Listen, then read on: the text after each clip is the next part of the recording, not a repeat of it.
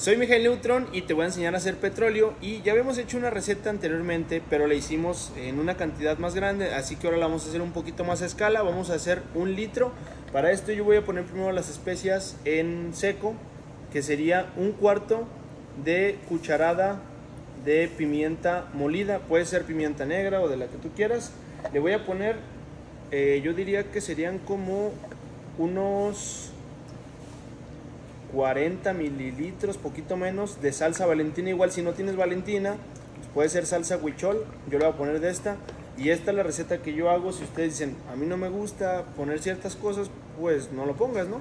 Puedes ponerle ciertas cosas o quitarle otras cosas. Yo de esta le voy a poner, serían como unos, como unos 20 chisguetes de salsa tabasco.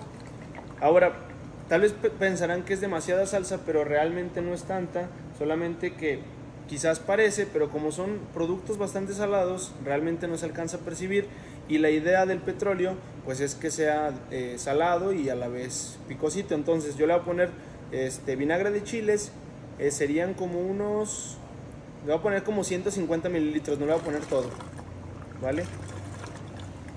Mm, así estaría perfecto. Ahora, había gente que la otra vez decía, no, es que esa combinación es una bomba para el estómago. A ver, desde que toman alcohol, eso no es bueno para la salud. Entonces, si te estás tomando una michelada, creo yo que debes de ser consciente que eso es lo que lleva. O sea, lleva salsas de este tipo.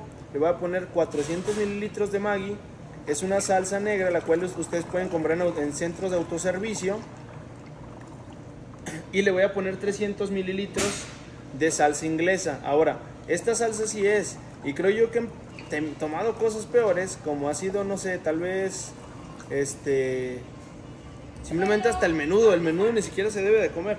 Pero bueno, nunca falta el persinado que dice, no, es que así no, que porque eso le va a hacer daño al estómago.